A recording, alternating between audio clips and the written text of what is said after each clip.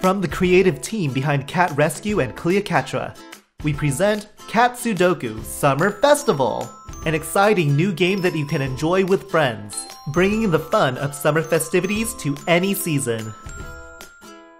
Played with the classic Sudoku rules, Cat Sudoku challenges players to also keep colors and numerals unique in their respective rows and columns. Additionally, the inclusion of personal scoring zones and reserve areas adds deeper layers to the overall strategy. You need to be savvy in this vibrant variation of the classic Sudoku challenge, because the player with the most cards in their designated scoring zone will be the victor. Draw on your turn, then play or reserve cards. Play cards into the 3x3 grid, taking care not to copy colors or numbers in the same row or column. You can even play cards on top of other cards that don't have the meeple. You might even be able to earn a reserve token that will allow you to play an additional card on your turn.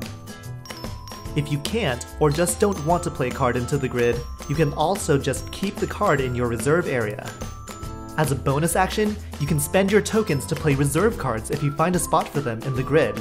You can also earn more tokens for finding placement errors in the grid. If there are no more cards in the draw deck at the end of a player's turn, then the game automatically ends with a scoring phase. Each player has a scoring zone.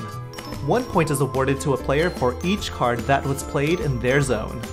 For every card a player still has in their reserve area, they lose 3 points. All players with the most amount of reserve tokens remaining earn 2 points. And the player with the most points is the winner. And for those of you who like an additional challenge, Cat Sudoku comes with advanced scoring rules. You can even be awarded with a scoring title depending on how many points you earn, from Keen Kitten to Sudoku Sensei. Find yours when you get a copy of Cat Sudoku Summer Festival. Back it now on Kickstarter.